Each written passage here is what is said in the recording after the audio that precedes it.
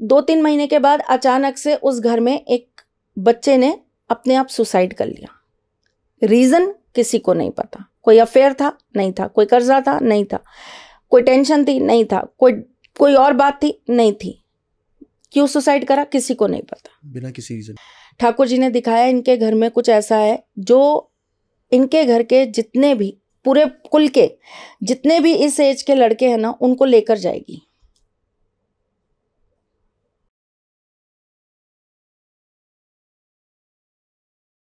लोग शूट कर रहे हैं तो मैं बहुत ज़्यादा अच्छा महसूस कर रहा हूँ। तो बात करते हैं त्रिशला जी से। वेलकम मैम जय श्री कृष्णा। कैसी हैं आप? बस कृपा ठाकुर जी की। आपके वजह से मेरे पे भी थोड़ी सी कृपा आज हो जाएगी। और आपके ऑडियंस पे भी। जी जी जी।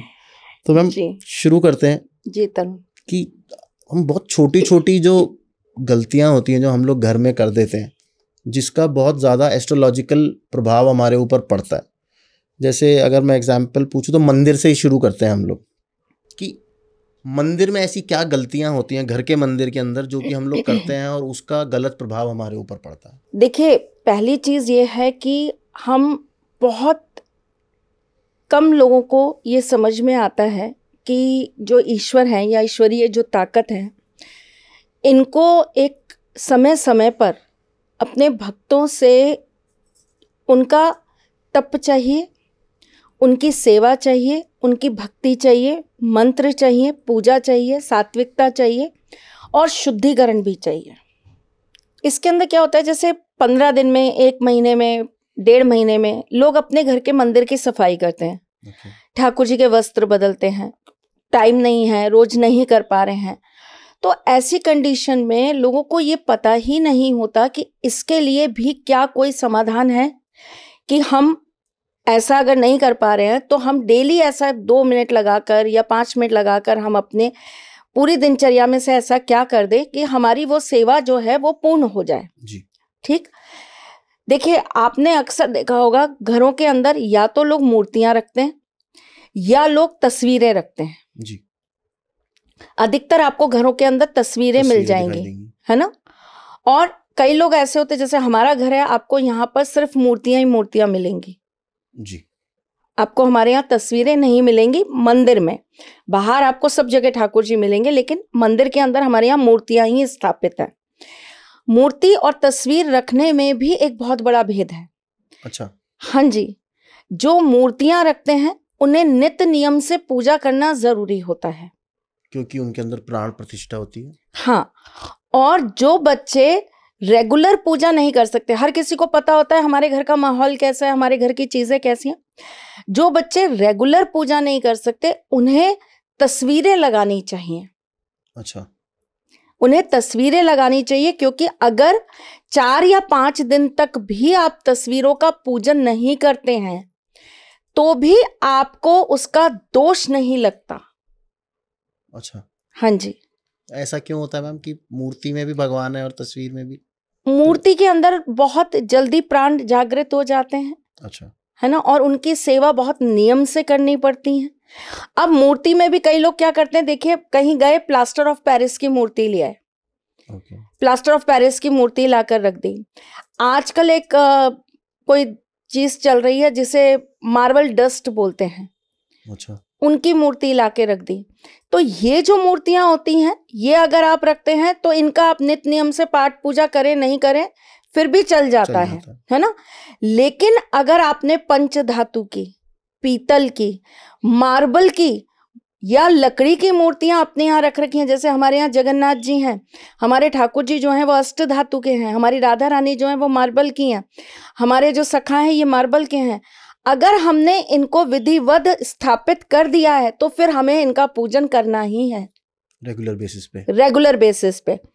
अब आप रोज़ाना नहीं स्नान करा सकते या आप रोज़ाना इनको नहीं वस्त्र चेंज कर सकते या कोई भी आपके साथ दिक्कत है घर में करने वाला कोई नहीं है। कई घरों में क्या होता है बड़े बुज़ुर्ग छोड़ गए हम उनकी सेवा कर रहे हैं।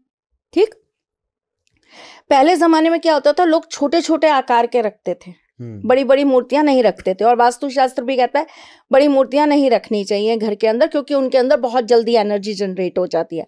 तो वो छोटे छोटे रखते थे और उनको नहलाना, उनको वस्त्र पहनाना बहुत आसान होता था, सरलता से पाँच दस मिनट के अंदर काम हो जाता था। चलिए, आपके पास थोड़े से बड़े हैं, अगर किसी भी आपने पीछे से लाए हैं, परिवार से मिल गए हैं या जो भी आपके पास है, आपने सेवा उठा रखी है ठाकुर जी की अगर आप उनका नित्य नियम से कोई कार्य नहीं कर पा रहे, अपने मंदिर की रोज़ाना सफाइयाँ नहीं कर पा रहे तो आपको मंदिर में रोज़ाना गंगा जल का छिड़काव ज़रूर करना चाहिए। ठीक है? पत्ते से या पुष्प से एक पुष्प ले लीजिए, गंगा जल के अंदर डाला और अच्छे से आपने छिड़काव कर दिया। ये बहुत सरल तरीका है अपने मंदिर के औरे को, अपने मंदिर की शुद्धता को बनाए रखने का। जो हर घर के अंदर हम कर सकते हैं और हमें करना भी चाहिए। उसका रीजन क्या है कि देखिए हम पूर्णतः हंड्रेड परसेंट तो शुद्धिकरण दे ही नहीं सकते। हम्म, कहीं ना कहीं मनुष्य है कभी ना कभी कोई तो त्रुटि हो ही जाती है हमसे ठीक? तो एक तो वो चीज़ आपकी बनी रहती है खंडित नहीं होती। दूसरा क्या होता है कि ऐसा करने से आपका मंदिर जो है ना वो अपने आप में सकारात्मक ऊर्जाओं को अपने अंदर अर्जित करने लग जाता है। और जब आपके घर के रेंज में जैसे ही कोई भी नकारात्मक चीज़ आती है वो अपनी सकारात्मक ऊर्जा से उन चीज़ों को बाहर कर देता है या दूर कर देता है। नेगेटिव पॉजिटिव एक दूसरे को डिफ्लेक्ट कर देते हैं। Exactly exactly. और उससे क्या होता है कि आपको उस चीज़ का कोई हार्म नहीं मिलता। आपके घर में आसानी से कोई तंत्र मंत्र नहीं कर सकता। आपके घर पर आसानी से दोष नहीं लग सकता। अब मैं आपको बहुत छोटा सा एक चीज़ बताती हूँ। घर के अंदर जब आपस में रहने वालों के बीच में मन मुटाव बहुत होता है। जी। ठीक है? तो ऐसा माना जाता है कि भाई आपके घर का वास्तु ठीक नहीं है या आपकी कुंडली के अंदर पितृ दोष है या कुल दोष है या वंश दोष है इसी वजह से आपकी ये चीज़ें जागृत हो रही हैं। ऐसी कंडीशन में अपने घर के अंदर, चाहे आप तस्वीर में, चाहे आप मूर्ति में, जैसी आपकी श्रद्धा है, जिसको आप ज़्यादा अच्छे से, भाव से संभाल सकते हैं, आपको और आपके घर के मंदिर में शिव पार्वती जी और गणेश कार्तिकी जी, यानी कि शिव परिवार का एक तस्वीर ज़रूर लगानी चाहिए। ज़रूर लगानी चाहिए।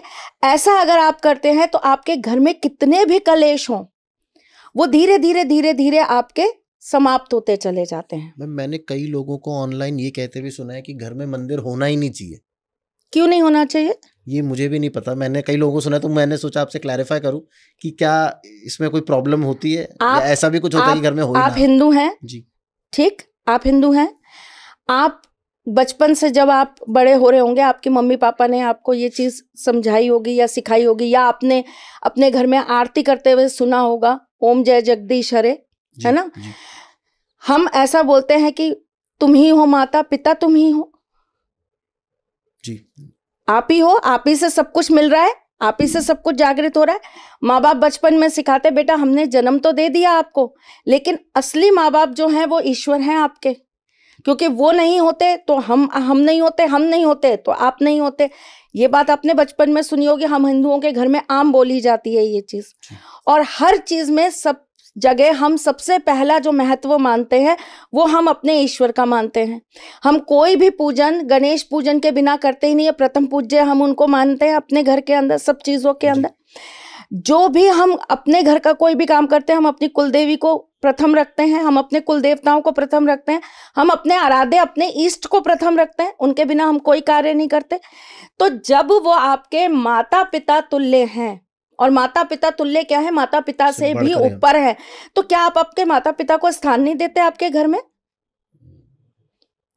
चलिए मत मानिए माता पिता मैं तो कह रही हूँ आपने सखा ही मान लिया। दोस्ती बहुत लोग कहते हैं मैंने तो ठाकुर जी को दोस्त की तरह रख रखा है। मैं तो उनसे हाय हेलो करता हूँ मैं तो और जाके बोलता हूँ और दोस्त क्या हाल चाल है? बहुत लोग बोलते हैं मुझे। तो क्या आप अपने दोस्त के लिए अपने घर में कोई स्थान नहीं बना सकते? आप भाई बहुत सारी लड़कियों को मैंने देखा है वो राखियाँ बांधती हैं। ठाकुर जी को गणेश जी को रक्षाबंधन पे राखियाँ बांधती हैं ठीक है? वो हमारे भाई हैं हमने उनको भाई रूप में ले रखा है। तो क्या आप अपने भाई को जगह नहीं देंगे? तो ये मतलब गलत बात फैलाई ये है। ये वो लोग धारणाएँ फैलाते हैं जो लोग हिंदू धर्म को कहीं ना कहीं मेरे हिसाब से खत्म कर देना चाहते हैं। ये वो बात करते हैं।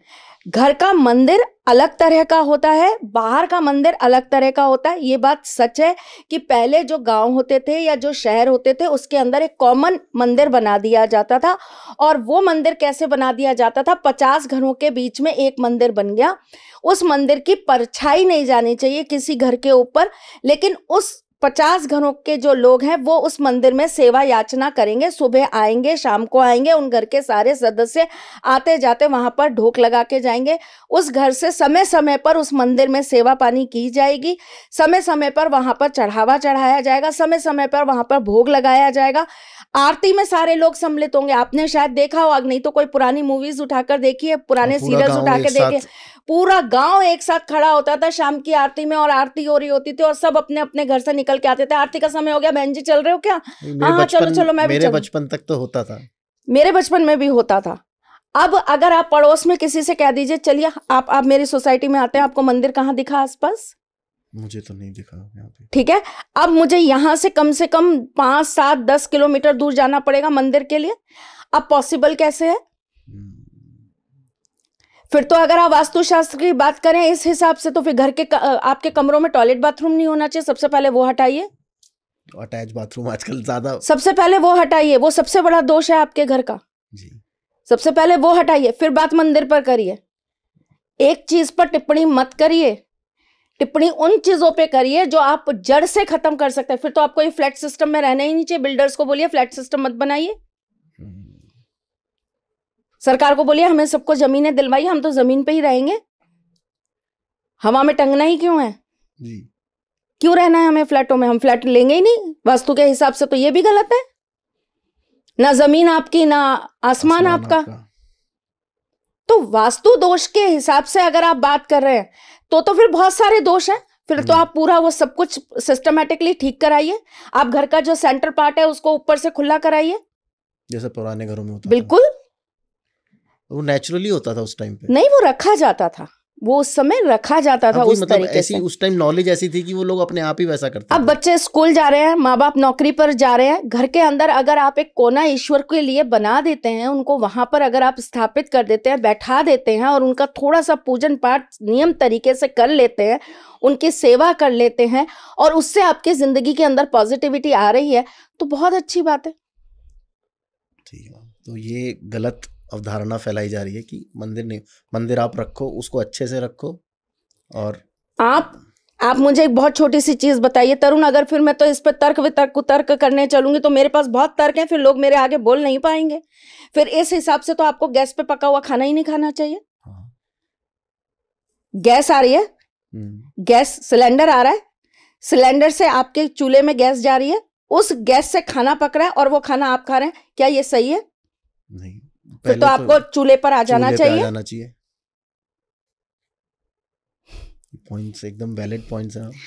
तो आप बात वहाँ करिए जब सिस्टम चेंज हो रहा है जब सारी आधुनिकता आ रही है तो आधुनिकता के अंदर मॉडर्न वास्तु ये कहता है कि घर के अंदर पॉजिटिविटी का होना अनिवार्य है क्योंकि जैसे जैसे कलयुग का एक एक दिन बढ़ता जा रहा है वैसे वैसे नकारात्मकता अपने चरम सीमा पर बढ़ती चली जा रही है उसका भी कद उसकी भी उम्र उसकी भी ताकत बढ़ती चली जा रही है तो उसको रोकने के लिए आपको अपने इर्द गिर्द पॉजिटिविटी को वास देना ही पड़ेगा। हम ये थोड़ा सा दूसरी डायरेक्शन में चले गए अपने पॉइंट से।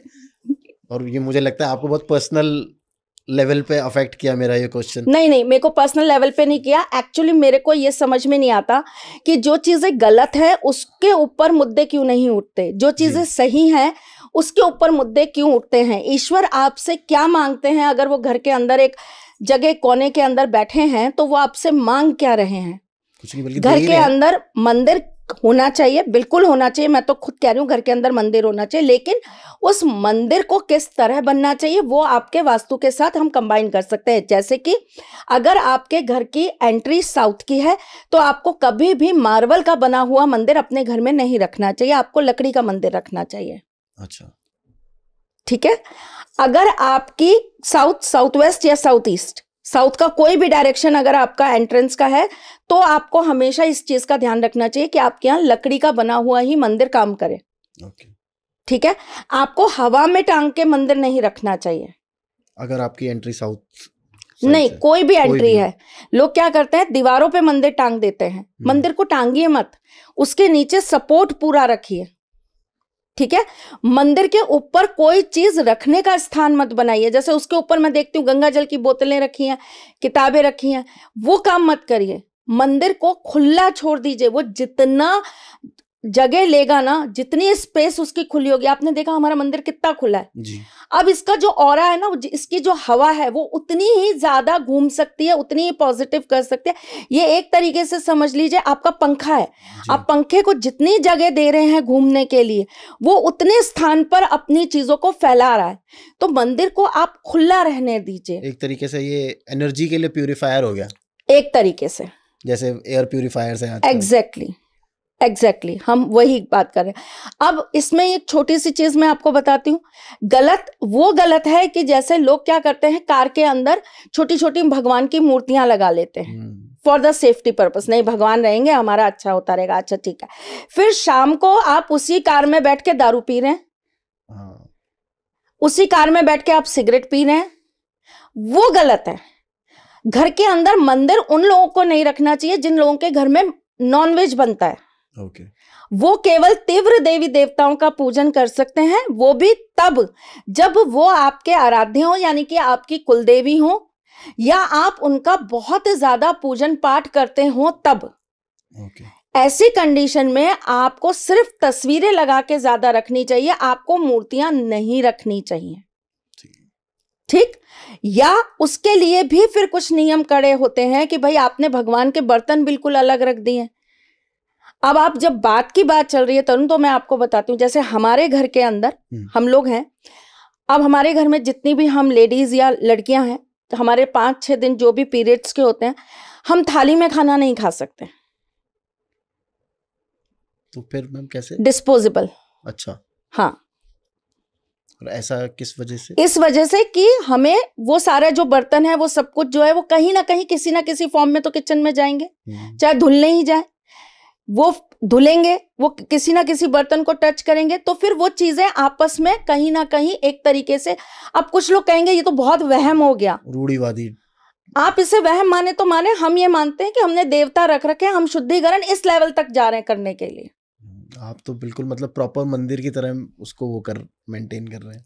अगर हमारे यहाँ पे पीरियड्स में लड़कियाँ हैं तो हमारे यहाँ एक पर्दा पूरी तरीके से लग जाता है। ओके ठीक है?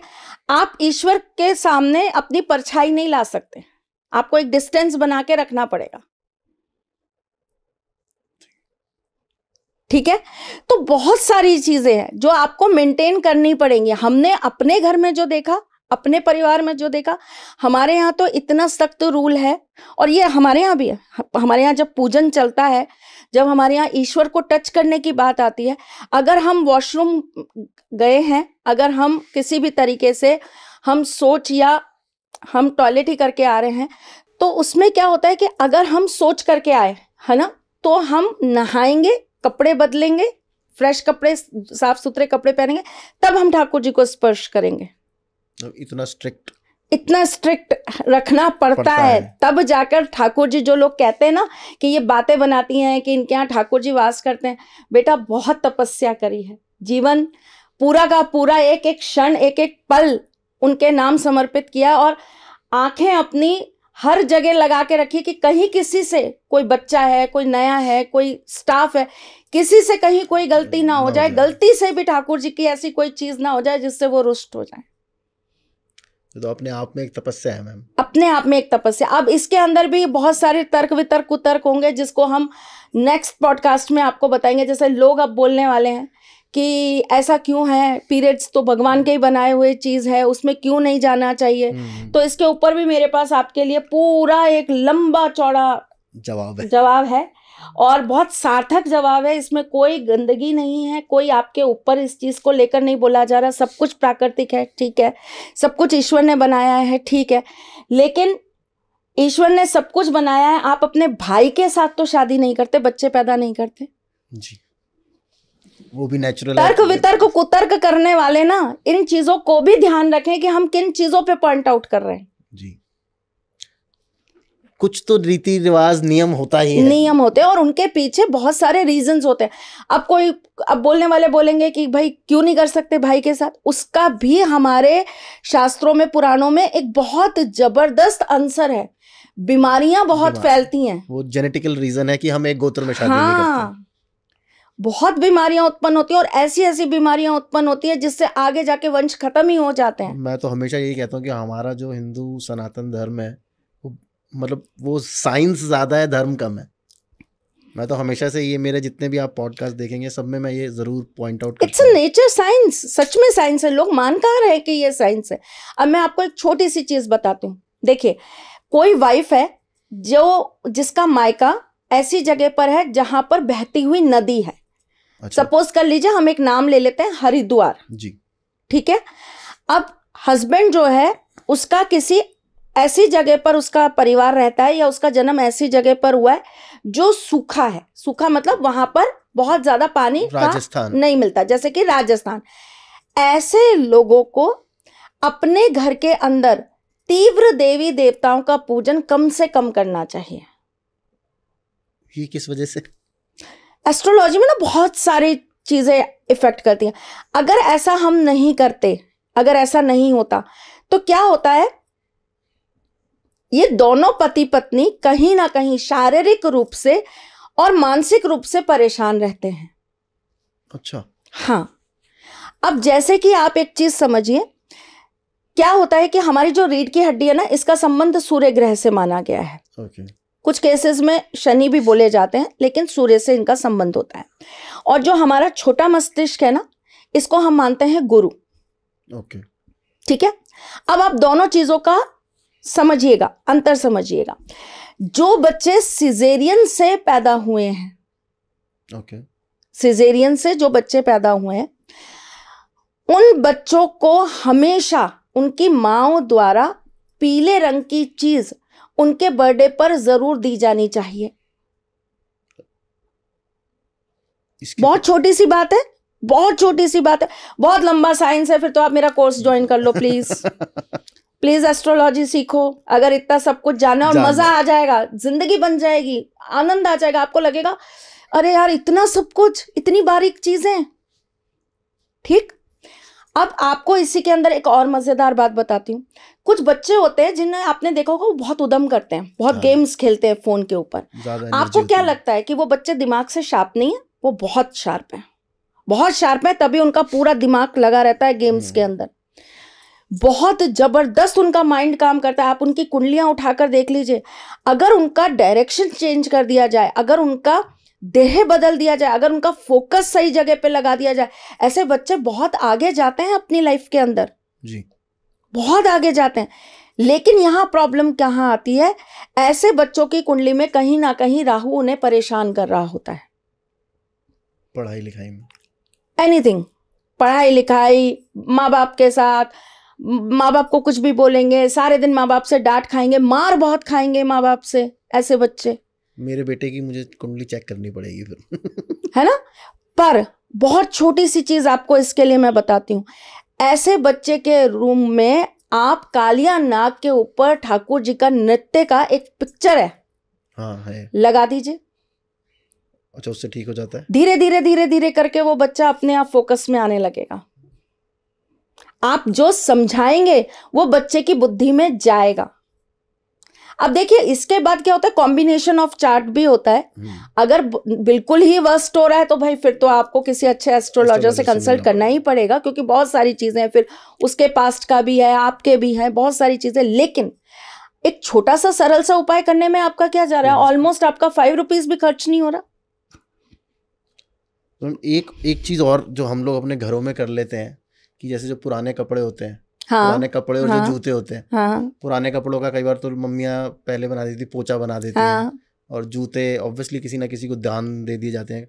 तो वो करना चाहिए या उसका भी कुछ नहीं करना चाहिए। बिल्कुल देखिए अब पुराने कपड़े भी आप स्टॉक करते चले जाएँगे कितना रखेंगे? हम्म। देना चाहिए।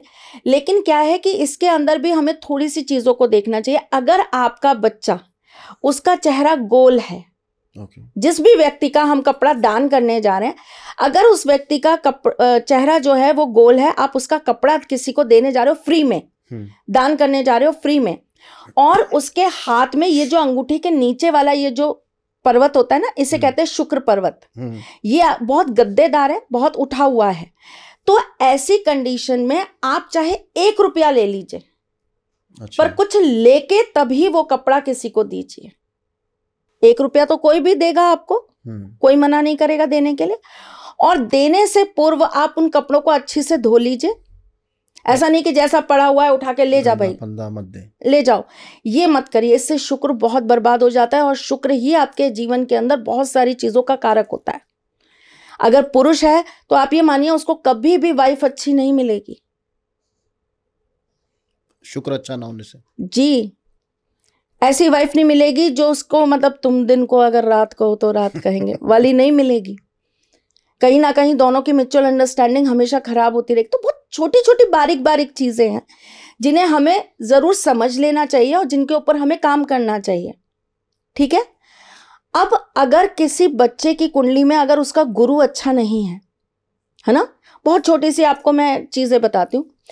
ऐसा बच्चा जो होगा ना वो बहुत सारी प्लानिंग्स करेगा बहुत कुछ सोचेगा बहुत लंबी लंबी बातें उसके दिमाग में आएँगी करने के लिए वो बहुत कुछ करना चाहेगा लेकिन उसको ग्रह परिस्थितियाँ ही कुछ भी नहीं करने देंगी। इंटेंशली ऐसा नहीं है कि वो नहीं करना चाहता चाहता। या उसके साथ कोई दिक्कत है।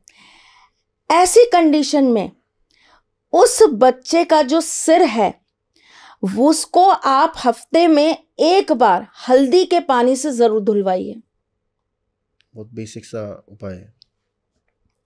जिन बच्चों का कंसंट्रेशन लेवल बहुत कमज़ोर है जिन बच्चों की याददाश्त बहुत कमज़ोर है उनके लिए भी ये हल्दी वाला उपाय करिए। केसर डाल लीजिए हल्दी डाल लीजिए जो आपको इच्छा करे वो कर लीजिए। भाई लोग प्लीज़ ये सब याद रखना ये काम आएँगे कॉपी पेन। लेके लिख लेना बेटा। तो मैम एक जो सबसे बड़ा क्वेश्चन सबकी लाइफ में है फाइनेंसेस हम्म। उसके लिए कुछ बताइए आप कि वो कैसे ठीक किया जाए? हाँ। जेनरिक जेनरिक उसमें। एक कहानी सुना सुनाइए। चलिए। एक व्यक्ति जो चौदह दिन में बन गया करोड़पति। करोड़पति भी एक दो करोड़ का करोड़पति नहीं अच्छा खासा करोड़पति। चौदह दिन में। चौदह दिन में। सिर्फ़ घर में रखने से एक चीज़ से। वो क्या चीज़ थी मैम? आपको रखनी है? न्यू आप पहले बताइए उसके बाद सोचिए। नहीं रखनी वही मैं आपको बता रही हूँ। जी।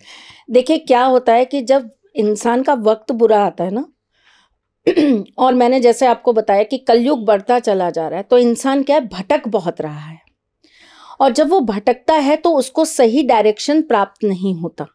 ओके। सही तरीके से लोग उसको मिल नहीं पाते। हर कुंडली का एक कोड होता है। अच्छा। जैसे हर कंप्यूटर के आगे जब आप उसको खोलेंगे या आप अपना मोबाइल जब खोलेंगे तो आपको एक पासवर्ड लगाना पड़ेगा वरना वो खुलेगा नहीं। जी। लॉकिंग सिस्टम है ना? लगभग लगभग 98 परसेंट कुंडलियों में ये लॉकिंग सिस्टम होता है। ओके टू परसेंट नहीं होती बहुत सात्विक कुंडलियाँ होती हैं जिन्हें कोई भी कैसे भी अपने तरीके से कर सकता है। ये जो 98 परसेंट कुंडलियाँ होती है इन्हें पढ़ा तो बहुत आसानी से जाता है क्योंकि थ्योरी है।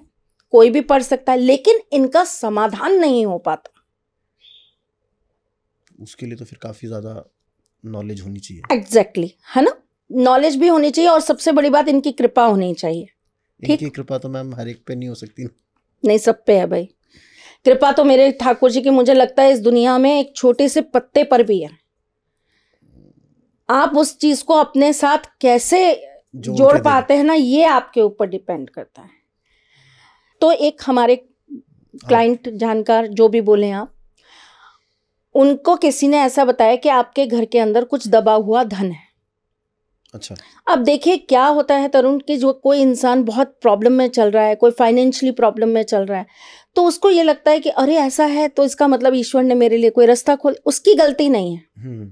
उसकी गलती मैं बिल्कुल नहीं मानूँगी वो एक बहुत बुरे फ़ेज़ से गुजर रहा है लेकिन बस यहाँ पर इंसान से गलती क्या हो जाती है वो कहीं ना कहीं ना किसी ऐसे व्यक्ति को नहीं उस समय अप्रोच करता या उस तक नहीं पहुँचता जो थोड़ा सा सात्विक है। सही गाइड कर सके। सही गाइड कर सके। अगर आप किसी तांत्रिक के पास गए और वो आपको कोई क्रिया करने के लिए बता रहा है तो एक बार किसी सात्विक के पास भी चले जाओ। हो सकता है उसी चीज़ का कोई और भी तरीका हो। पॉजिटिव वे हो। Exactly exactly. आपका भाग्य खुलना है तो वो कहीं ना कहीं से खुल जाएगा। तरुण खोल देंगे। मैं खोल दूँगी कोई भी खोल देगा और हम दोनों नहीं खोल देंगे तो सुनने वालों का अपने आप ठाकुर जी उद्धार कर देंगे। तो देखिए जिस पर होनी है ना कृपा प्रभु की उसको कोई ना कोई ज़रिया अपने आप मिल जाता है। एक छोटी सी चीटी भी फिर आपके लिए कार्य कर जाती है। है ना? ये बहुत बड़ी बात है। अब क्या हुआ कि उनको वो तांत्रिक मिल गया उन्होंने उनको बताया कि आपके घर में फलानी जगह पर ये चीज़ दबी हुई है आप निकाल लीजिए और बहुत अच्छा खासा धन है। लालच आ गया। अब उन तांत्रिक ने क्या किया? उनको एक चांदी की छोटी सी डिब्बी दी और उनको कहा कि ये चीज़ आप अपने घर में रख लेना। मैं अब आपके यहाँ पे पाँच दिन बाद आऊँगा। पाँच दिन बाद अमावस है तो मैं पाँच दिन बाद आऊँगा और पाँच दिन बाद आपको आके बताऊँगा कि अपन ये क्रिया कब कर सकते हैं। अब जी पाँच दिन बाद वो आया, उसने वो डिब्बी खोली, उसने जो भी अपना जो करना था उससे करा और उन्होंने उनको एक डेट दे दी कि मैं इस डेट पर आऊँगा और आपकी ये चीज़ को कर दूँगा। मुझे ये जगह खाली चाहिए आपके घर में ऐसा चाहिए वैसा चाहिए फलाना डिमकाना ठीक है। उन्होंने उनसे कुछ सामान मंगाया। सामान के अंदर उन्होंने नॉनवेज मंगाया अंडे मंगाए दारू मंगाई। अब समझदार इंसान को वहीं समझ जाना चाहिए कि ये चीज़ें गलत है भ्रष्ट है। कुछ पॉजिटिव नहीं होने वाला। इनमें से कुछ पॉजिटिव नहीं होने वाला। लेकिन वही होता है विनाश काले विपरीत बुद्धिम। तो उन्होंने क्या किया? ठीक है महाराज जैसा आप बोलो। उस समय वो तांत्रिक उनके लिए भगवान था। भगवान था। है ना? उन्होंने कहा ठीक है जैसा आप बोलो जो आप चाहो कर। उन्होंने जो भी क्रिया विरिया करी कर करा के वो बाहर भी निकालती हैं।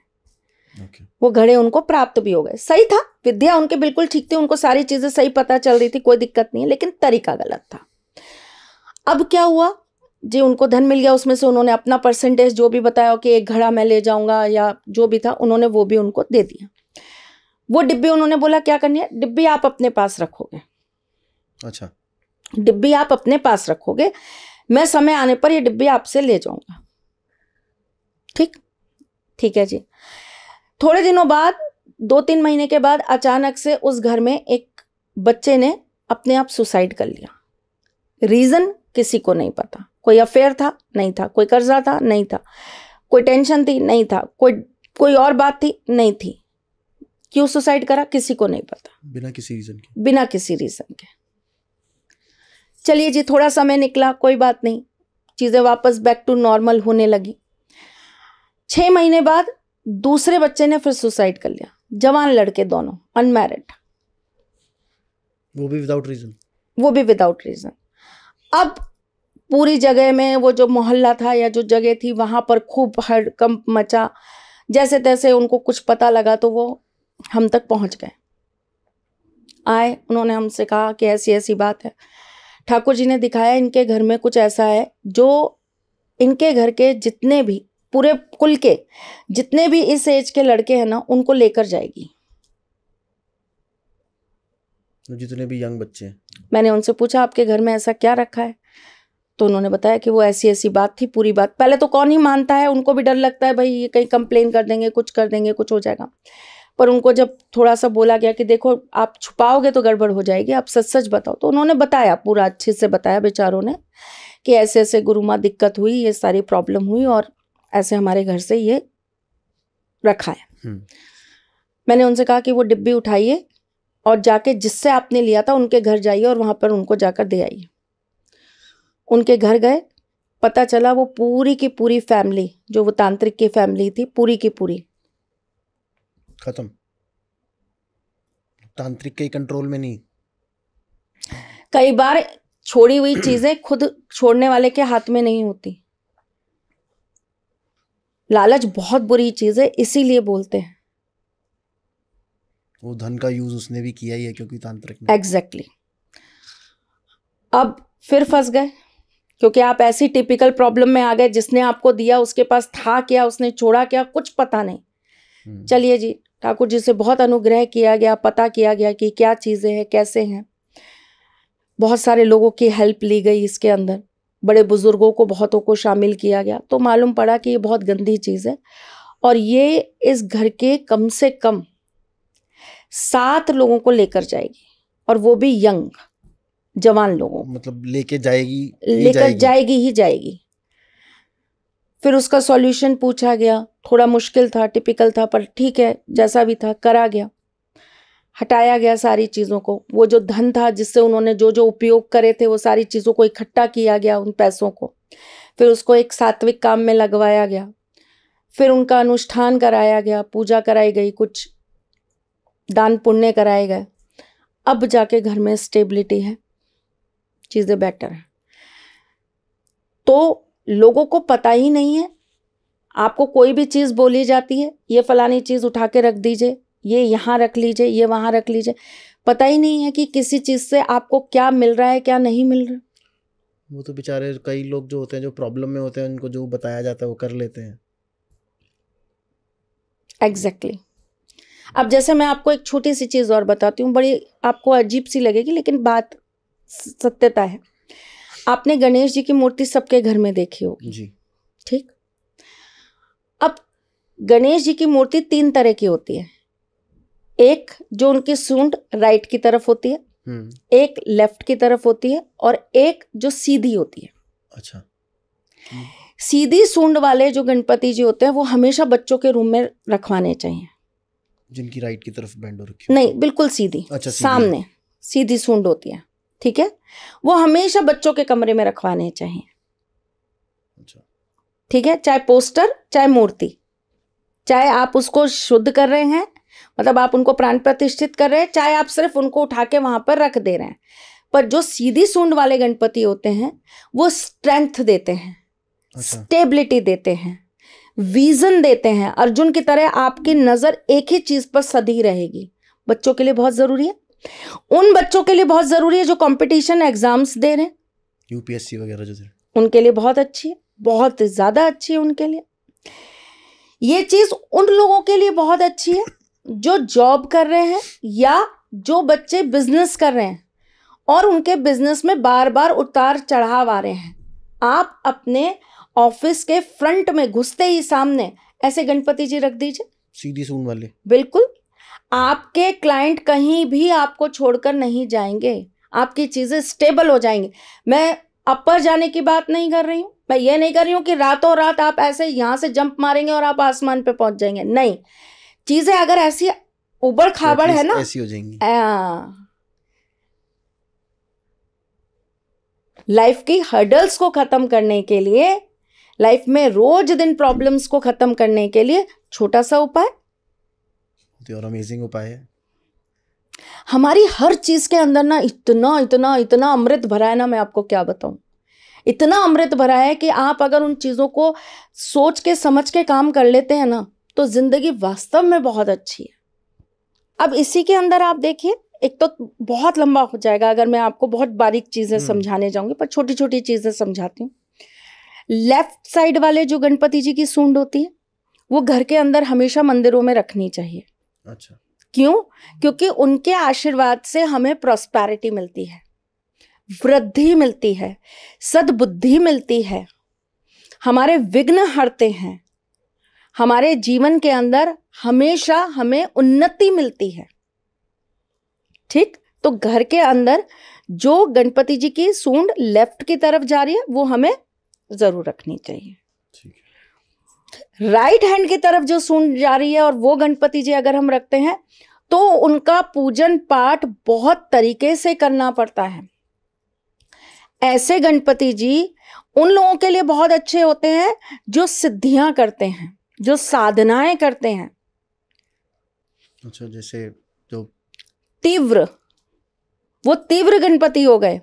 ज़्यादातर आपको जितने भी विनायक मंदिर हैं ठाकुर सॉरी मेरे मुँह से ठाकुर जी निकलता है। गणेश जी के जितने भी मंदिर हैं उनके अंदर आपको वो बहुत ज़्यादा सिद्ध मंदिर मिलेंगे जहाँ पर उनकी सूंड दक्षिण की तरफ़ होगी। सिद्धि विनायक मंदिर या साउथ के बहुत सारे मंदिर हैं। ऐसी जो मूर्तियाँ होती हैं उनसे आपको आशीर्वाद बहुत सरलता से प्राप्त होता है लेकिन इन मूर्तियों को रखना इनको संभालना इनका पूजन बहुत विशेष होता है। प्रॉपर एक प्रोसीजर होता है। हाँ जी। त्रुटियाँ नहीं कर सकते आप इनके साथ। ठीक? इसीलिए इन्हें घर के अंदर नॉर्मली स्थापित नहीं करा जाता। मना करा जाता है। मंदिरों में ही बेटर है। जी। जिन बच्चों को बार बार बार बार दिक्कत आती है कि वो अपनी चीज़ों से भटकते हैं दोस्ती यारी में बहुत जा रहे हैं। ऐसे बच्चे जो माँ बाप का कहना नहीं मान रहे नशे के आदि हो चुके हैं जो बहुत कम उम्र में प्रेम प्रसंगों में पड़ गए हैं अफेयर्स चल गए हैं ठीक है? जो अपनी लाइफ में कोई देह ही नहीं लेके चल रहे उन्हें पूछो आपको क्या करना है? पता नहीं क्या करना है। भटक से गए भटक से गए ऐसे बच्चों को हमेशा हल्दी के गणपति का पूजन कराना चाहिए। हल्दी के गणपति। हाँ जी हर चीज़ के गणपति आते हैं आपको यही नहीं पता होगा। आपको क्या बहुत सारे बच्चों को नहीं पता होगा। हल्दी से सुपारी के गणपति हाँ हल्दी से गणपति जी निर्माण होते हैं।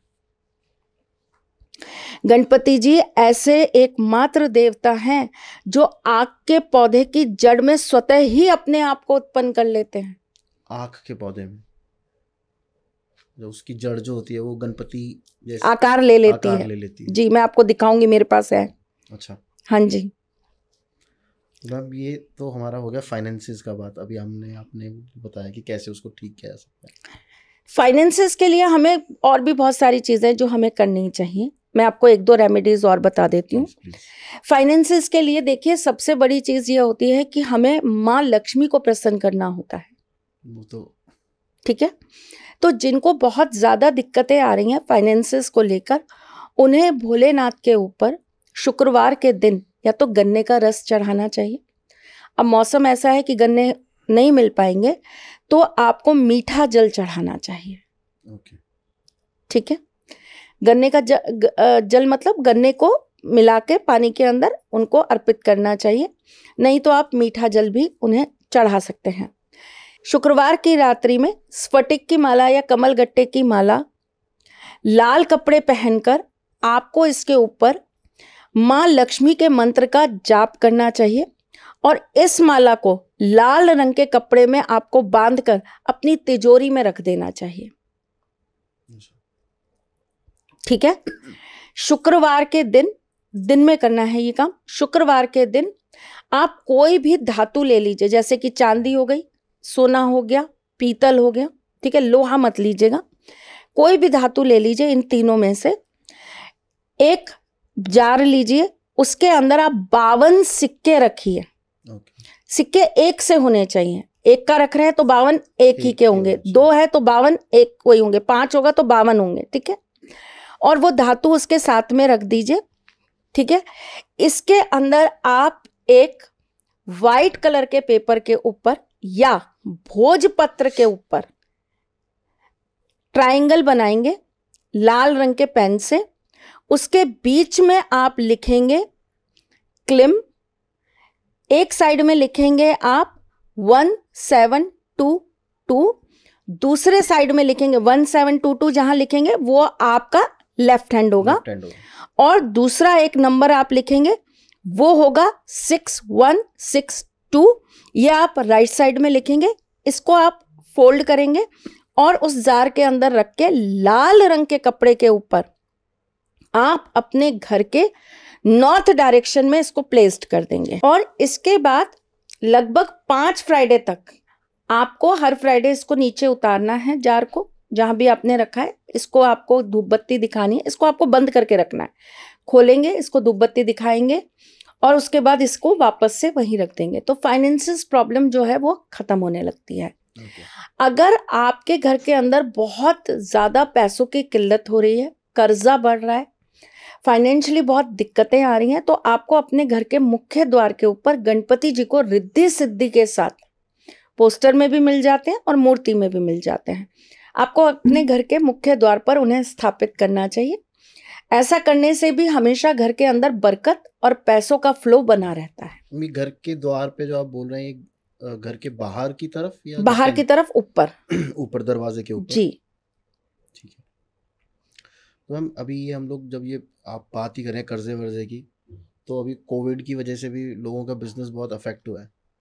तो उसमें ना लोगों का जो जैसे जो ज्वेलरी होती है गोल्ड होता है, वो उन लोगों ने बेचारों ने गिरवी रखा और वो अब वापस छूट ही नहीं पा रहा। तो उसके लिए कोई स्पेसिफिक रेमेडी है कि गोल्ड जो आपने गिरवी रखा हो, वो आप छुड़वा सके? बिल्कुल है। गोल्ड छुड़वाने के लिए गुरुवार के दिन आप किसी भी हरि मंदिर में ठाकुर जी के किसी भी रूप में, जैसे कि विष्णु भगवान के मंदिर में या राम जी के मंदिर में या ठाकुर जी के मंदिर में। केसर की दो पत्तियाँ गुलाब के पुष्प की पत्ती के ऊपर रखकर, गुलाब का पुष्प ले लिया आपने, लाल वाला, उसके ऊपर केसर की दो पत्तियाँ रख दी, लेकर के आपको एक कटोरी चीनी के ऊपर रख के चढ़ा कर आना है। आप चाहे तो कटोरी की जगह आप डिस्पोजेबल भी ले सकते हैं या आप मिट्टी का कोई कसोरा ले लीजिए ठीक है जो आप मंदिर में ही छोड़ा है। ऐसा लगातार नौ गुरुवार करिए ये प्रॉब्लम आपकी ठीक होने लग जाएगी। अच्छा। ठीक है?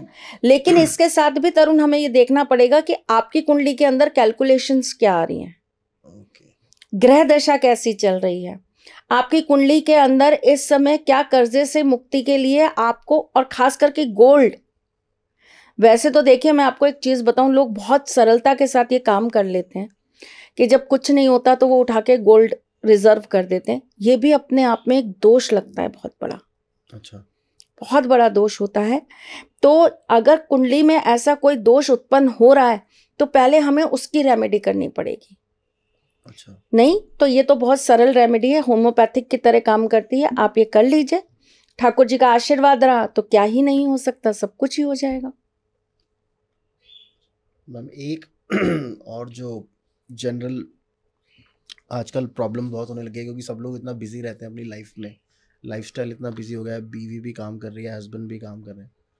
तो उनके बीच का जो तालमेल है वो कैसे सही रहे? देखो तरुण, ये एक ऐसा टॉपिक है जिस पे मेरे पास बोलने के लिए बहुत कुछ है। आपसी तालमेल के लिए हम उपाय, ग्रह, इन सब पे तो जाते ही हैं, लेकिन सबसे बड़ी चीज़ होती है इसके अंदर करने वाली, आपको अपने मन को दृढ़ करना होता है।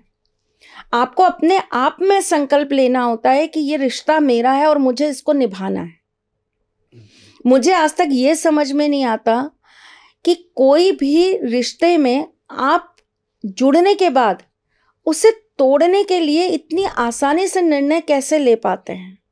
हम्म। ये आजकल का ही ज़्यादा प्रॉब्लम है। अब अब लोग ये कहेंगे कि ये ऐसी बात कर रही है लेकिन मैं आपको एक छोटी सी बात क्लियर कर रही हूँ ठीक है? आप आज की ही सिचुएशंस को थोड़ा सा पीछे ले जाइए है ना? और उनको आप एक दूसरे के साथ जोड़ने की कोशिश करिए ठीक?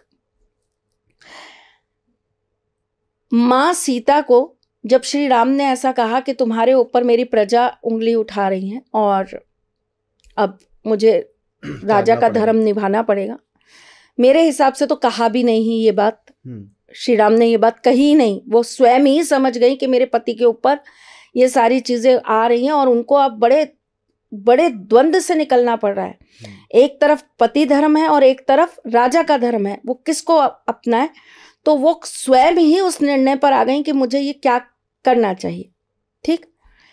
अंडरस्टैंडिंग का लेवल बता रही हूँ आपको मैं। जी। ठीक है? उन्होंने एक बार भी उंगली नहीं उठाई अपने पति के ऊपर।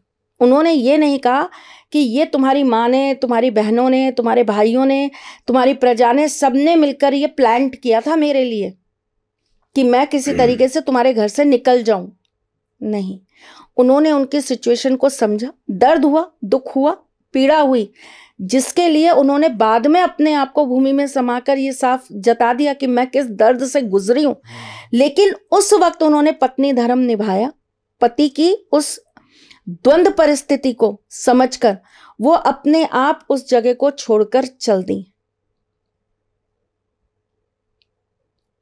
ठीक? आजकल में अगर ये सिचुएशन हो जाए,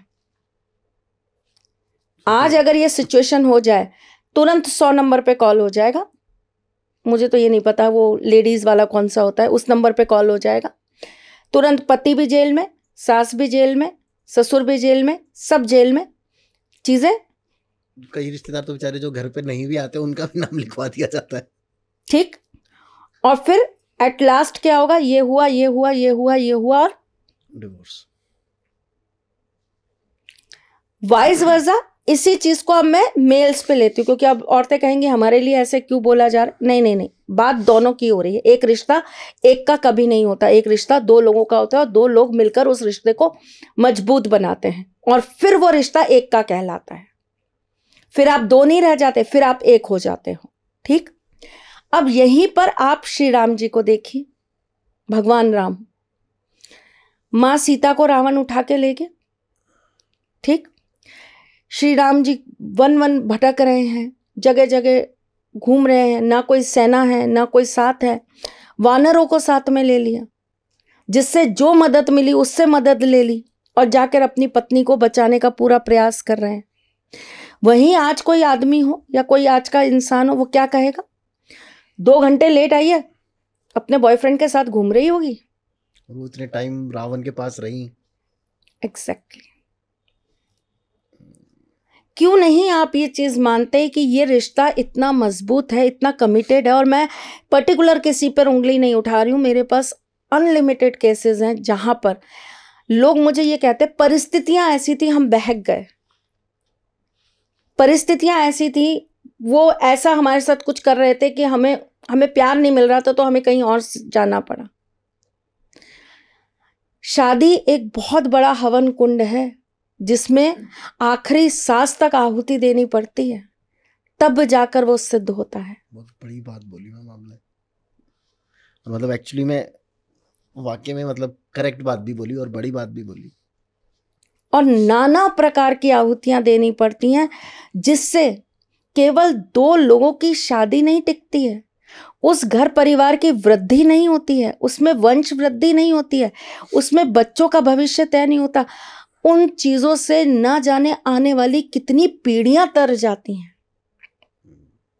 तो हस्बैंड वाइफ के रिलेशनशिप को सबसे पहले ठीक करने के लिए जो चीज़ चाहिए ना वो आपसी मेलजोल चाहिए आपसी अंडरस्टैंडिंग चाहिए विश्वास चाहिए। उसके लिए कोई रेमेडी नहीं है। रेमेडी है बहुत सारी रेमेडीज हैं लेकिन बेटा आप जिस रिश्ते के अंदर अपना हंड्रेड परसेंट देना चाहोगे ना वो रिश्ता कहीं ना कहीं सुधरेगा। एक दिन, दो दिन, पाँच दिन, दस दिन, पंद्रह दिन, कभी तो वो वक्त आएगा जब वो रिश्ता सुधरेगा। फिर भी अगर आपको ऐसा लगता है कि नहीं, अब हमसे तो नहीं हो रहा, हम हार गए, तब आप ज़रूर करिए। और ईश्वर ने चाहा, ठाकुर जी ने चाहा तो उनके प्रेम से, राधा रानी के आशीर्वाद से आपकी गृहस्थी के अंदर आपको बहुत मदद मिलेगी। जिसमें सबसे पहली चीज़ ये है कि प्रत्येक मंगलवार के दिन आपको अपने घर के अंदर गुलाब जल से पोछा लगाना चाहिए। मतलब गुलाब जल को थोड़ा सा पानी में मिला के उससे पोछा। हर मंगलवार को ही करना है ये काम। खुद लगाना है? किसी से भी लगवा सकते हैं। जो काम करने वाले हैं उनसे भी लगवा सकते हैं। ऐसी स्थिति में हस्बैंड वाइफ को अपना और अपने पार्टनर का फ़ोटो अपने बेडरूम के अंदर ज़रूर रखना चाहिए। एक साथ जुड़ा हुआ फ़ोटो ज़रूर रखना चाहिए। ऐसी कंडीशन में हस्बैंड वाइफ को हमेशा अपने कमरे के अंदर एक शंख ज़रूर रखना चाहिए। शंख। बहुत छोटी सी है लेकिन बहुत ताकतवर रेमेडी है ये। मैम और बहुत इजी टू फॉलो भी है। Exactly exactly. ऐसी कंडीशन के अंदर आपको अपने घर के अंदर किसी भी तरह की सीनरीज कभी नहीं लगानी चाहिए। अच्छा नहीं लगानी चाहिए? कभी नहीं। कभी भी नहीं लगानी चाहिए। क्योंकि आजकल तो मोस्टली हर घर में कमरों में सीनरीज लगी होती नहीं लगानी चाहिए। अगर आप लोगों में डिस्प्यूट्स बहुत ज़्यादा हैं तो। काफ़ी सिंपल उपाय हैं। बहुत सिंपल उपाय हैं। और फिर बहुत सारे वशीकरण के उपाय होते हैं जिनके लिए मैं स्पेशलिस्ट हूँ खास करके हस्बैंड वाइफ के लिए। क्योंकि मुझे ना कोई भी रिश्ते में टूटन पसंद नहीं है। Okay. मैं बहुत सेंसिटिव हूँ तरुण और मुझे ऐसा लगता है कि अगर आप किसी से जुड़ गए ना तो उसके साथ तोड़ना ये मेरे लिए तो एक बहुत बड़ा पाप है। बहुत बड़ा पाप है। तो मुझे ऐसा लगता है कि किसी भी रिश्ते को हमको तोड़ना नहीं चाहिए कभी भी और खास करके ये रिश्ता। हम्म। ये रिश्ता तो आधार ही प्रेम है। और है भी सात जन्मों का आप इसी जन्म को नहीं निभा पा रहे। और ये रिश्ता एक ऐसा रिश्ता है जिसके अंदर बहुत कुछ है। एक पुरुष एक स्त्री जब आपस में इनका मिलन होता है ठीक है? तो ये एक दूसरे के लिए बहुत पावरफुल ऊर्जा का काम करते हैं। शिव शक्ति। बिल्कुल। बहुत ज़बरदस्त ऊर्जा का काम करते हैं और जब ये दोनों एक समांतर होके चलते हैं ना, आप यकीन मानिए, आप ऐसे घर को कभी नहीं तोड़ पाएँगे। आप ऐसे घर में कभी कुछ गलत नहीं कर पाएँगे जहाँ पर हस्बैंड वाइफ बिल्कुल एक ट्यूनिंग से चलते हैं। घरों में दरारें वहीं आ रही हैं, घरों में विनाश वहीं हो रहे हैं, घर के अंदर प्रॉब्लम्स वहीं आ रही हैं, जहाँ पर ये दोनों एक नहीं है, फेविकॉल से जुड़े नहीं हैं। फेविकॉल का ऐड हो जाएगा। जी। अच्छा मैम अब ये अगर जब ये जुड़ गए जो आपकी बताई रेमेडीज है काम कर गई तो ऑब्वियसली वुमेन गेट्स प्रेग्नेंट एक रिलेशनशिप में। तो उस जो बच्चा है उसको प्रोटेक्ट करने के लिए कुछ अलग से रेमेडीज होती हैं कि उसके ऊपर कोई बुरी नज़र ना लगे या प्रेगनेंसी आराम से निकल जाए? जब कोई लेडी प्रेग्नेंट है और वो बेबी कंसीव करती है। क्योंकि बोला जाता है प्रेग्नेंट लेडीज़ के ऊपर वो भूत प्रेत का भी काफ़ी बहुत ज़्यादा रहता है और मैंने अपने एक एपिसोड में मुझे याद नहीं है कहाँ पर लेकिन मैंने अपने एक पॉडकास्ट में भी शायद ये बताया था कि एक ऐसी शक्ति होती है एक ऐसी आत्मा होती है जो बच्चों को ही खाती है। गर्भ के बच्चों को खाती है। अच्छा। हाँ मैंने बताया था और ये बहुत गलत क्रिया होती है और कुछ लोग तो जानबूझकर ये कार्य करते हैं। कुछ लोग जानबूझकर ये कार्य करते हैं कि गर्भ के बच्चों को जानबूझकर खत्म करवा देते हैं। और उससे बहुत भयंकर तंत्र होता है। तो वो शक्तियाँ प्राप्त करने के लिए ऐसा करते शक्तियाँ प्राप्त करने के लिए करते हैं। ठीक है?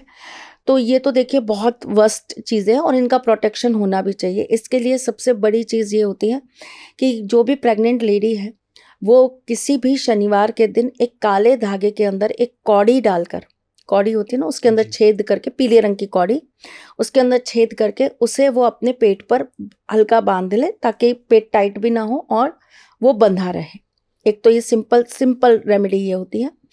दूसरी चीज़ ये है कि ऐसी कंडीशन में कभी भी प्रेग्नेंट लेडीज़ को अपना पेट खुला नहीं छोड़ना चाहिए खास करके रात्रि के वक्त। खास करके अमावस्या के समय।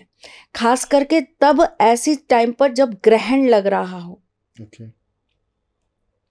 तब उन्हें अपना पेट बिल्कुल भी खुला नहीं छोड़ना चाहिए ढक लेना चाहिए पूरी तरीके से। ऐसी कंडीशंस में हमेशा प्रेग्नेंट लेडीज़ को अपने सिर में वो जो रबर लगाती हैं या जो भी बैंड लगाती हैं उसके अंदर एक छोटा सा पिन ज़रूर रखना चाहिए। लोहे का या लोहे का या किसी भी चीज़ का। लोहे का ही रखा जाता है बेसिकली वैसे तो पर अब वो पहले वो भी बोलते थे ना मैम कि उसके तकिए के नीचे चाकू रख के सोइए थोड़ा सा वो बुरे सपने नहीं आते टाइप हाँ चाकू वहाँ भी रखा जाता है आप जब चौराया लांगते हैं या आप कहीं चौराहे से जा रहे होते तब भी कहते हैं कि आप साथ में चाकू ले जाइए। तब भी ऐसा कहते हैं कि आप अपने पल्ले के अंदर राई और लौंग बाँध के ले जाइए। ऐसी बच्चों की ना नज़र वक्त वक्त पे उतारनी चाहिए। ऐसी प्रेग्नेंट लेडी हाँ। वक्त वक्त पे ऐसे बच्चों की नज़र उतारनी। वो है कि इस तरीके से उतारी जाए। बत्ती से सबसे ट्रेडिशनल तरीका हमारे इंडिया का। बत्ती से सबसे सरल तरीका वही है। उसी से उतारनी चाहिए। ऐसे बच्चों को धार्मिक चीज़ों की तरफ़ रुझान ज़्यादा रखना चाहिए। ऐसी अच्छा। बच्चियों को सात्विक चीज़ें बहुत पढ़नी चाहिए। ऐसी बच्चियों को भगवान का जाप बहुत करना चाहिए। ऐसी कंडीशंस में रामायण ज़रूर सुननी चाहिए या पढ़नी चाहिए। गीता। गीता से भी ज़्यादा रामायण। अब मैं बिल्कुल ही अलग डायरेक्शन में एक सवाल है मेरा। जी। कई बार ऐसा होता है कि हम लोग एक इन्वेस्टमेंट के लिए प्रॉपर्टी ले ली। जी। और अब वो इन्वेस्टमेंट के लिए ले तो ली लेकिन वो बिक नहीं रही। और उस पर लॉस पे लॉस हुआ जा रहा है। तो उसके लिए कुछ एक स्पेसिफिक रेमेडी है कि आपकी जो प्रॉपर्टी है जो आपने ज़मीन खरीदी हुई है वो बिक जाए टाइम से। पारा सुना है आपने? पारा? पारा मरकरी। जी। जी। इस प्रॉब्लम के लिए पारे से अच्छा कोई उपाय नहीं है। पारे के अंदर इतने अच्छे गुण होते हैं इतने अच्छे तत्व होते हैं कि वो बहुत जल्दी चीज़ों को अपने अंदर समेट लेता है। छोटी सी पारे की गोली ले लीजिए है ना? और इस पारे की गोली को शहद की डिब्बी के अंदर डाल दीजिए या शीशी के अंदर डाल दीजिए। ठीक है? और जो प्रॉपर्टी है, उस प्रॉपर्टी के वेस्ट कॉर्नर पर आप या तो इसको दबा दीजिए, या वहाँ पर आप किसी गमले के अंदर मिट्टी डाल के उसके अंदर इस डिब्बी को रखकर आ जाइए। किसी भी दिन, किसी भी तिथि पर ये कार्य कर लीजिए। Within a three months आपकी प्रॉपर्टी सेल हो जाएगी। अब मैम, एक और चीज़ है, जो आजकल हर, हम सब लोग अपनी फैमिली में चाहते हैं कि कोई ना कोई बच्चा बाहर सेटल हो जाए या बाहर पढ़ने चला जाए। और पर उसका कुछ ना कुछ इशू हो रहा है कभी वीज़ा कैंसिल हो जाता है या नहीं लग पा रहा है या यूनिवर्सिटी में एडमिशन नहीं मिल रहा। उसके लिए कोई स्पेसिफिक ऐसे बच्चे के कमरे के वेस्ट वॉल के ऊपर उड़ते हुए पक्षियों का फ़ोटो लगा देना चाहिए। कमरे की वेस्ट वॉल पे। इतना सिंपल सा चीज़ है। बिल्कुल। आपको उड़ाना है अपने बच्चे को? आपको भेजना अच्छा मैं इसके अंदर भी आपको कुछ चीज़ें बताती हूँ। एस्ट्रोलॉजी कितनी मज़ेदार है ये बताती हूँ आपको जिस कुंडली के अंदर सूर्य चौथे घर के अंदर बैठा है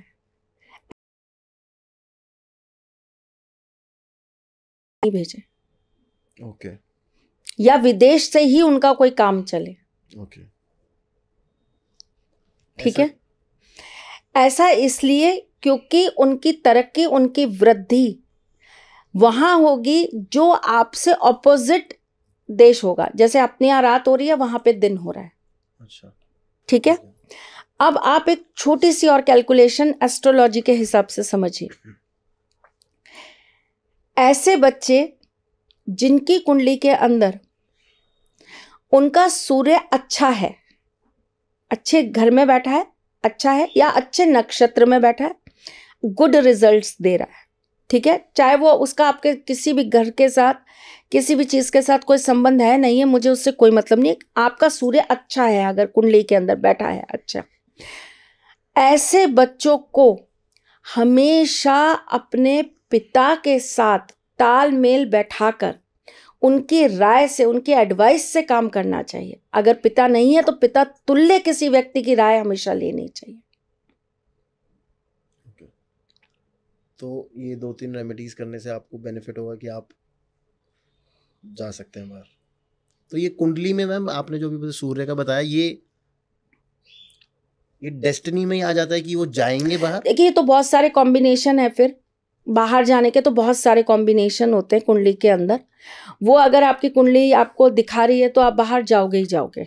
अच्छा। डेफिनेटली जाओगे। तो ऐसे कुछ ग्रह होते हैं कि आप हाँ ग्रह भी होते हैं आपका जो आपकी बारह खाने होते हैं उनका आपस में ऐसा कॉम्बिनेशन होता है जो आपको लेके जाता ही जाता है बाहर। अच्छा। आपको इंडिया में रहने ही नहीं देता। लेकिन कई बार क्या होता है कि ये चीज़ें आपके पास्ट लाइफ से भी कनेक्टेड होती हैं। कि आप बाहर जाएँगे। आप बाहर जाएँगे। पास्ट लाइफ से कैसे मैम जैसे सपोज़ करिए कोई ऐसा व्यक्ति है जो विदेश में जिसकी डेथ हुई है।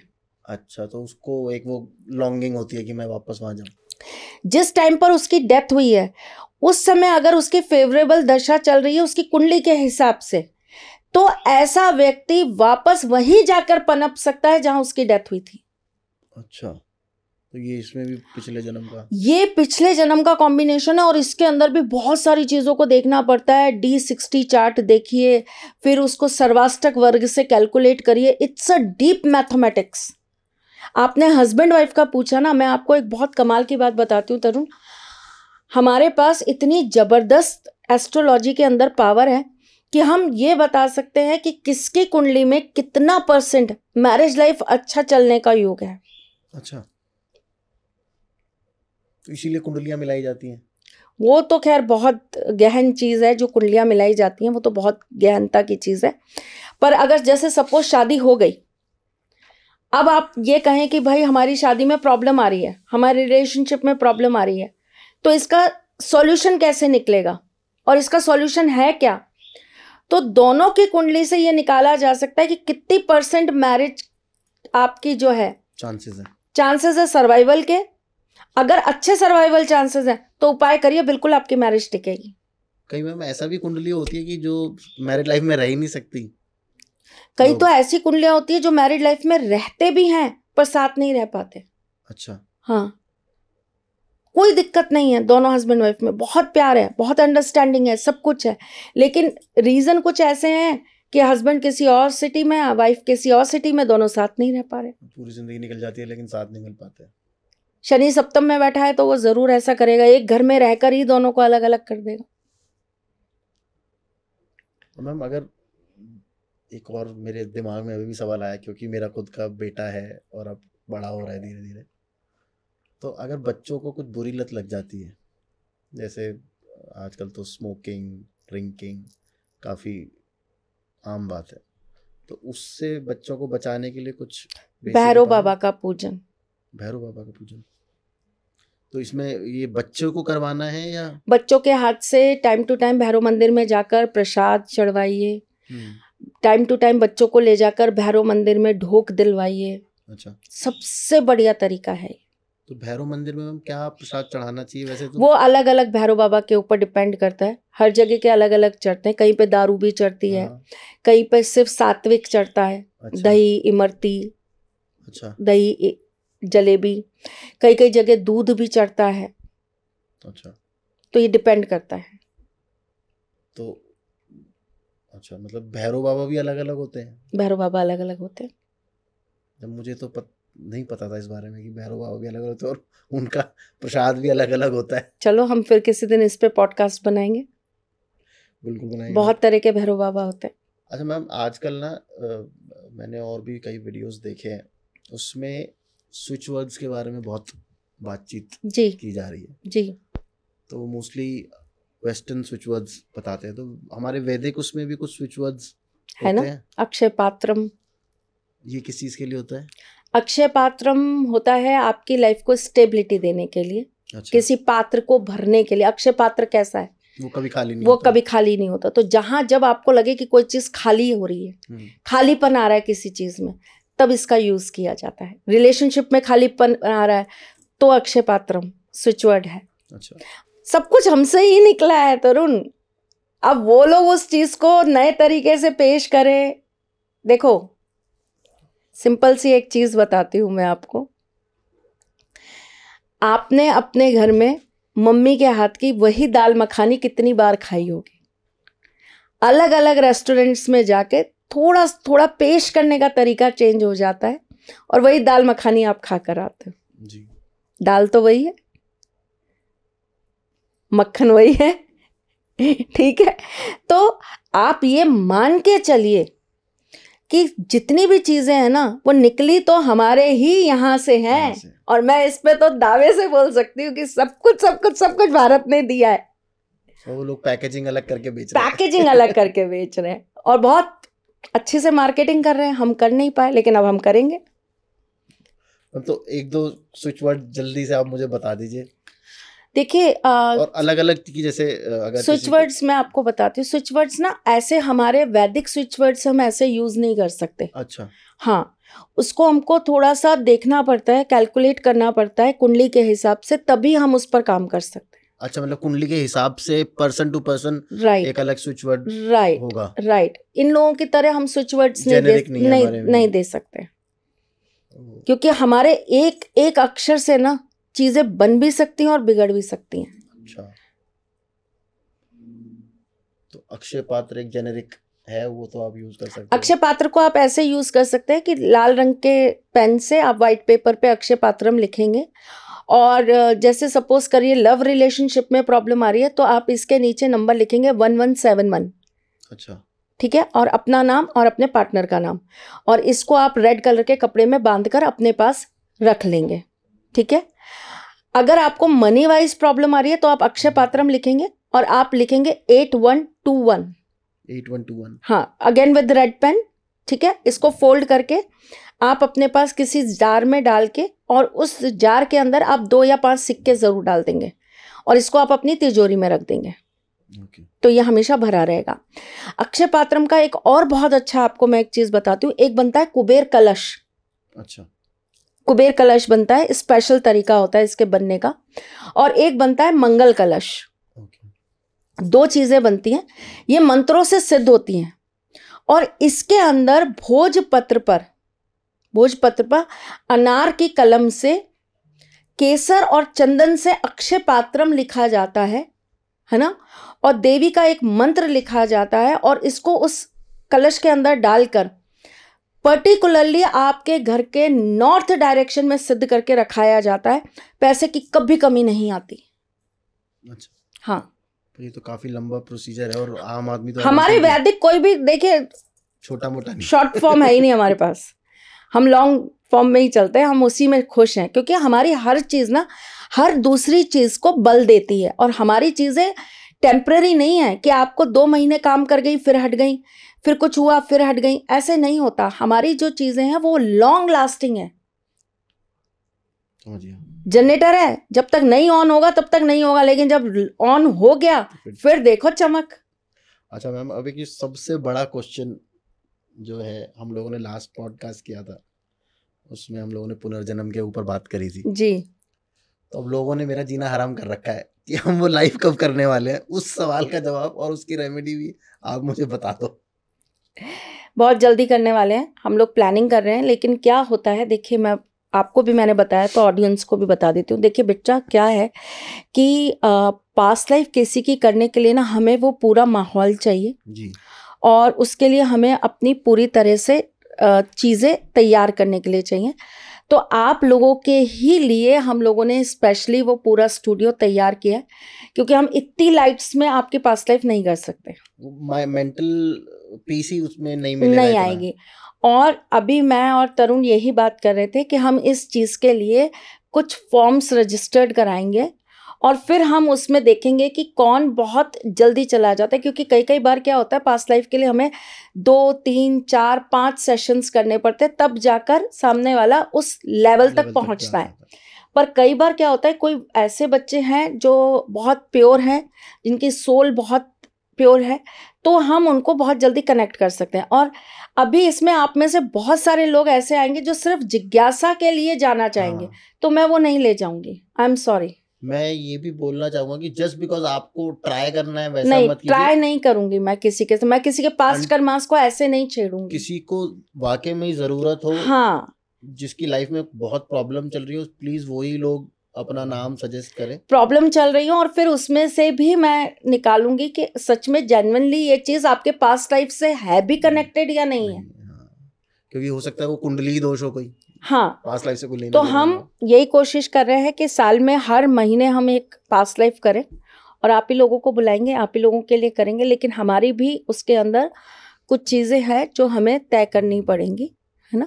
मज़ाक नहीं होती ये चीज़ें और किसी के ज़िंदगी के साथ मैं तो नहीं खेल पाऊँगी सॉरी ठाकुर जी के होते हुए ये काम तो मैं नहीं कर सकती कि मैं कुछ अपनी प्रसिद्धि के लिए अपने नाम के लिए कोई गलत काम करूँ।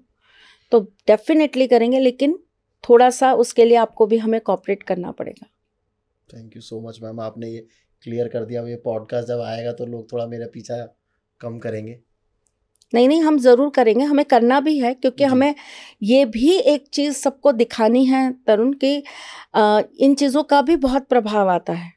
हाँ मैम क्योंकि और ये बहुत सारे लोग बोल भी रहे हैं कि यार ऐसा थोड़ी होता है। अच्छा ऐसा नहीं होता तो फिर आप ही बता दीजिए कि ऐसा होता है कि नहीं होता? नहीं वही मैं उनको बोलता हूँ कि भाई आपको कैसे पता कि ऐसा होता है या नहीं होता है? तो अंटिल जब तक हो करके नहीं देखेंगे हमें कैसे पता होगा कि नहीं होता? Exactly exactly. आप जब तक किसी चीज़ का अनुभव नहीं कर रहे तब तक आप उस पर उंगली उठा ही नहीं सकते। और यहाँ हम जिन लोगों को बुलाएँगे भी जिन लोगों के साथ हम करेंगे भी आप उनके अनुभव जब सुनेंगे तो आपको समझ में आएगा कि सच में होता है कि नहीं होता। बिल्कुल। Thank you so much ma'am मेरे क्वेश्चंस हो गए हैं अब यहाँ पे ख़त्म। और आपके साथ तो बात करके मुझे हमेशा ही मज़ा आता है मतलब अब ये तो हमको एपिसोड और छोटा करना पड़ेगा क्योंकि मैं तो आपके साथ बात और दो घंटे करता रहूँ दो घंटे करता रहूँ वो तो चलता ही रहेगा। एक डिमांड और आ रही है कि सर को भी लेके आइए आपके साथ। तो नेक्स्ट पॉडकास्ट सर के साथ कर लेंगे। पक्का क्योंकि उनकी जो कहानियाँ हैं मुझे लगता है वो और अलग लेवल की होंगी। हाँ सर एक्चुअली आपको कुछ देंगे। जी। तो उनके साथ आप बिल्कुल करिएगा हम नेक्स्ट टाइम उनके साथ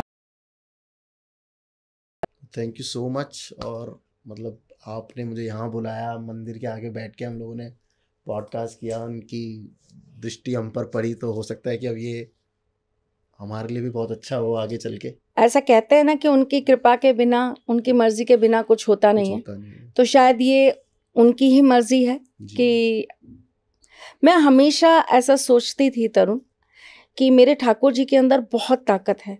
मतलब मेरे मैं इसलिए वर्ड यूज़ करती हूँ कि मैं उनसे बहुत कनेक्टेड हूँ तो आप प्लीज़ उसको पर्सनली मत लीजिएगा।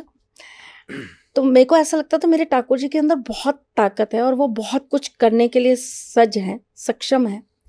तो मेरे ठाकुर जी ऐसे छुप के क्यों रहते हैं? हम्म, वो सामने क्यों नहीं आते?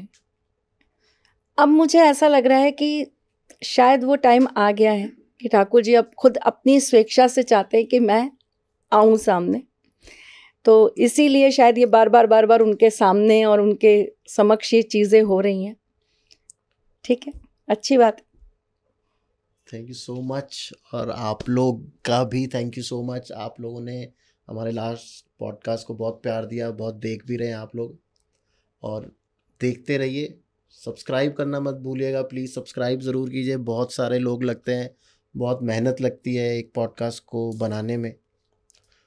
शेयर करना मत भूलिए क्योंकि ये जो नॉलेज है, ये अनटिल अनलेस आप लोग किसी और के साथ शेयर नहीं करेंगे तो हमारा एक जो उद्देश्य है, वो थोड़ा सा सफल नहीं हो पाता है।